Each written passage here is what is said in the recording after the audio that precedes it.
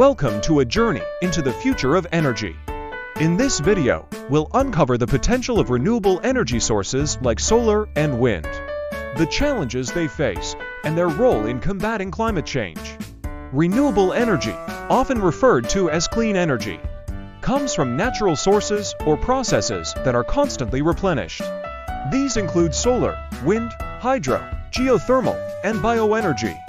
As the world grapples with the effects of climate change, the shift towards these renewable sources has never been more critical.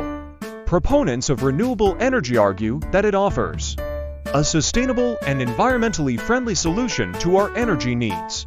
They point to the falling costs of technologies like solar panels and wind turbines, the potential for job creation, and the benefits for our health and the environment. However, the transition to renewable energy is not without challenges.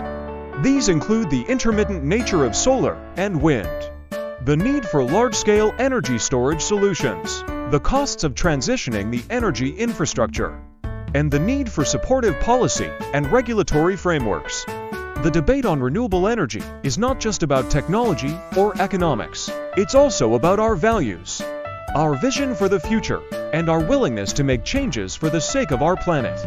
In conclusion, the future of renewable energy is both a green dream and a realistic solution.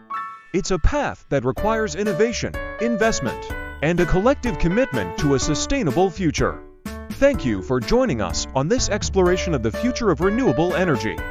If you found this video informative and want to keep up with the latest developments in the field, don't forget to subscribe to our channel.